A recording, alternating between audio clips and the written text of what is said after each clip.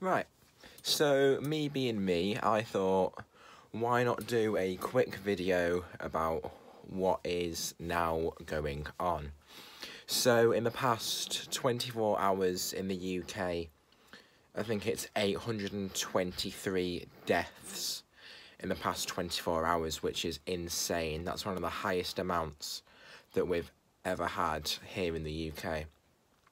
So, one task for every single viewer that's watching this right now. Stay home, stay safe, save lives.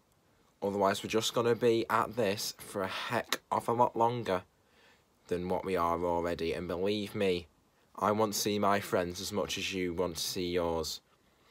So please, like I've just said, stay home, stay safe, save lives. If we all do that, it will be a whole lot easier for all of us. So, pretty much, I'm a key worker, so I go to work so you guys don't have to. So, stay safe, guys, and remember, let's save as many lives as we possibly can. And I'll do another video in a couple of weeks to tell you guys how far we've got. See you later, guys.